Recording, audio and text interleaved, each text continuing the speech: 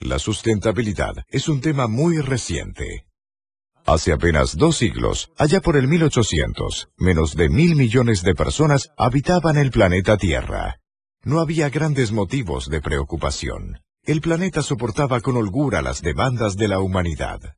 Pero luego vino la revolución industrial y el orden del día era crecer. Progreso a cualquier costo. Chimeneas y humo eran sinónimo de éxito. Y la explosión demográfica que siguió incrementó la población hasta los casi 7 mil millones de habitantes que somos hoy. La población mundial aumentó siete veces en algo más de 200 años. No demoró mucho para que algunos percibieran que el planeta podría no aguantar. Los casi 7 mil millones de habitantes percibieron la capacidad degenerativa del planeta. 30%. Hoy en día exigimos 30% más de lo que el planeta tiene para ofrecer.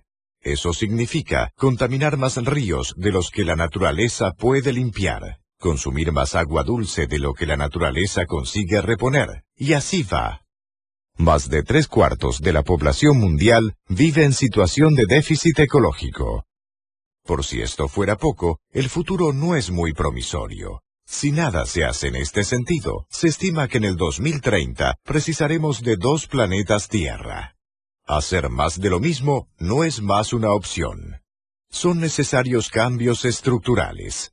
¿Y qué podemos decir de los empaques plásticos? ¿Será que ayudan o complican? ¿Será que el futuro sustentable pide más o menos empaques? Una cosa es cierta. La producción de empaques, plásticos o no, está asociada al consumo de recursos ambientales. Y la conclusión parece obvia. Cuantos menos empaques, mejor. Sin embargo, no es así de simple. Un análisis más elaborado señala al empaque como una herramienta de protección. Los empaques protegen su contenido y evitan el desperdicio. Considere, por ejemplo, un paquete de galletitas. Producir el empaque de ese paquete generó un impacto en el medio ambiente, pero producir el trigo, la harina, la galleta, transportar todo ello, genera aún más impacto. Según un estudio realizado en el Reino Unido, el empaque representa apenas 10% del consumo de energía en la cadena alimenticia. Eso quiere decir que gran parte de los impactos ambientales de aquello que consumimos son invisibles a simple vista más de la mitad del impacto está en las etapas agrícola y de producción. Los empaques primarios y de transporte suman 10%. 3,5% del impacto es generado por el transporte desde la fábrica hasta los puntos de venta. Otro 3% de consumo de energía está en la venta minorista. 1,5% es gastado por el consumidor para ir y volver del supermercado, y sorprendentemente, 17% está relacionado al almacenamiento en nuestras casas. Finalmente, 14% del consumo de energía está en la etapa de preparación. Lo que este diagrama nos muestra es que son muchas las oportunidades para llegar a un desarrollo más sustentable, pero el primer paso es entender el problema como un todo. Reducir el desperdicio de los empaques es ciertamente un camino válido y constituye una meta digna de ser perseguida. Pero no podemos olvidarnos de que el empaque está allí para proteger la extremadamente valiosa inversión ambiental que representa un impacto medio nueve veces superior al propio empaque. Se estima que un tercio de todo lo que compramos termina en la basura. Ello significa plantar, fertilizar, cosechar, beneficiar, transportar, almacenar y finalmente descartar 50% más de lo necesario para atender a nuestras necesidades. Esto no puede estar bien. No podemos conformarnos con un desperdicio del orden del 30%. Se estima que en 2050 llegaremos a entre 7 y 11 mil millones de habitantes. Una de las oportunidades más evidentes para que el planeta pueda soportar este crecimiento es justamente reducir el desperdicio de alimentos. Los empaques plásticos, al contrario de lo que se piensa, son parte fundamental de un futuro sustentable. El impacto ambiental de producir empaques es en promedio nueve veces menor que el impacto generado por el producto que él protege. Mejores empaques asociados a una educación ambiental pueden, sin lugar a dudas, reducir el impacto ambiental de la humanidad sobre el medio ambiente. Les dejo aquí algo para reflexionar. Usted consume todo el alimento que compra. ¿Será que porciones de tamaño más adecuado no podrían ayudar? ¿Será que productos listos para consumo no podrían ayudar? Desafortunadamente, no existe una respuesta universalmente correcta o errada. No existe un material de empaque más sustentable que otro. Lo que nos resta es buscar la solución para cada caso. Un empaque bueno es aquel que no sobra ni falta.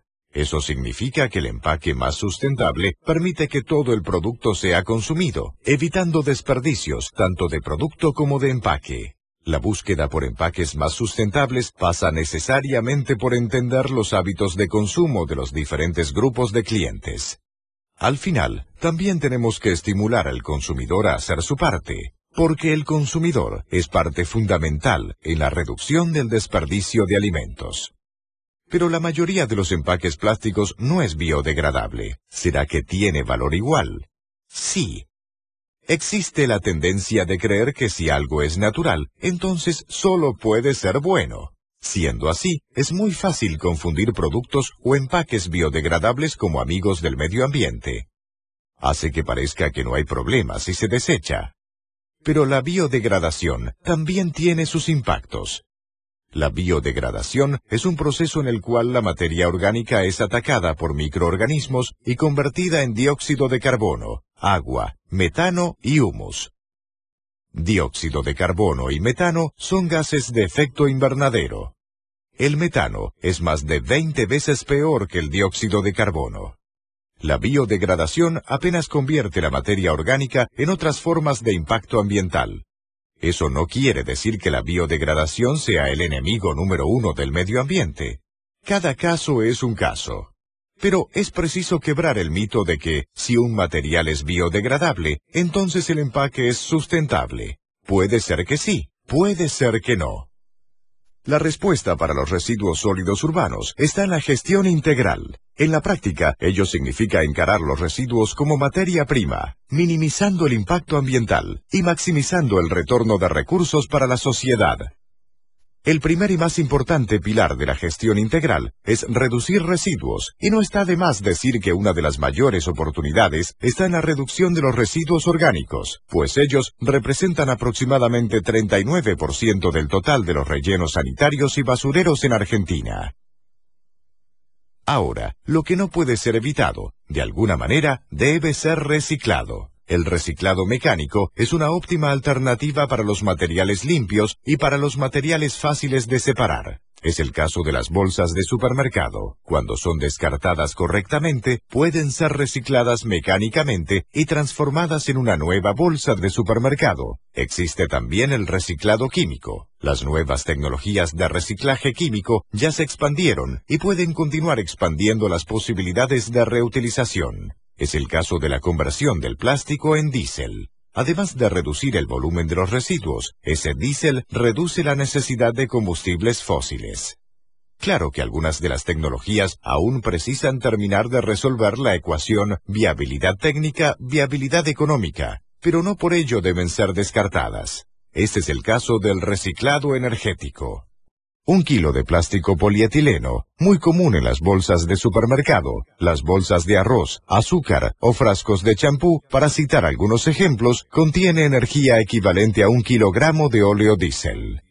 Esa energía puede ser extraída mediante un proceso llamado reciclado energético. El reciclado energético utiliza los empaques plásticos no reciclables como combustible para incinerar el residuo orgánico. Este proceso reduce los impactos negativos de la descomposición del residuo orgánico y genera un excedente energético utilizable por la sociedad. Muy utilizado en Europa, la tecnología es elegible para la obtención de créditos de carbono y cumple todas las normas ambientales vigentes. Para tener una idea, una bolsa de supermercado contiene energía equivalente a aquella necesaria para encender una lámpara de 60 watts por 10 minutos no vale la pena desperdiciar.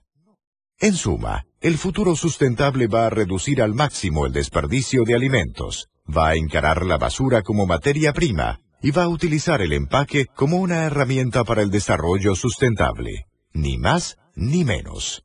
¿Y usted cree que puede ayudar?